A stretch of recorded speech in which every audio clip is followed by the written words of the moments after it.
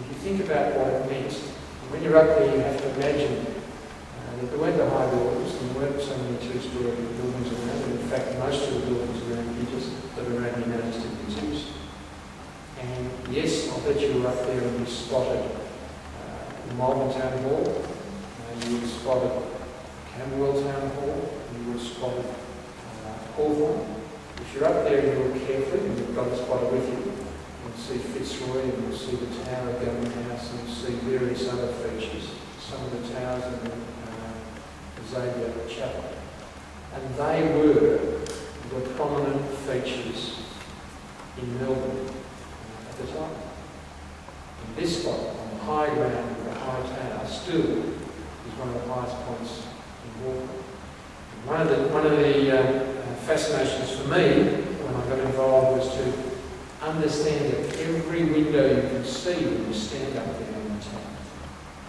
If you're on the other side of that window, this tower is a part of the landscape for the people on the other side of the window.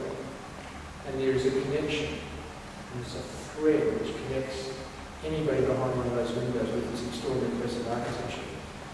And uh, I wanted to get to everybody whose window includes this town, and to get them up there and to understand that connection and to get them uh, back and supporting uh, this as a piece of architecture.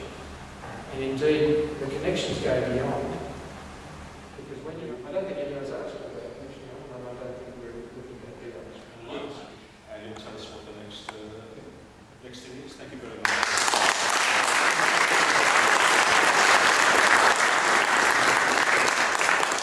Thank you again, and uh, uh, and a more aptly named group.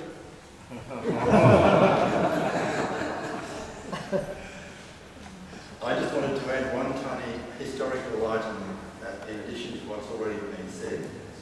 But if you care to turn around, you'll see Alan Chuck behind you. Alan Chuck is currently sitting in Kew